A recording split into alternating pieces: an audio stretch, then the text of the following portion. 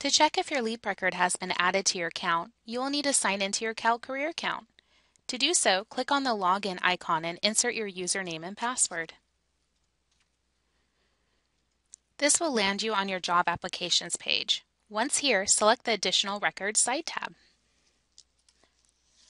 Once on the Additional Records screen, you will be able to view the status of your additional records. If your LEAP record has been added to your CalCareer account, you will see a hyperlink stating that it is on file.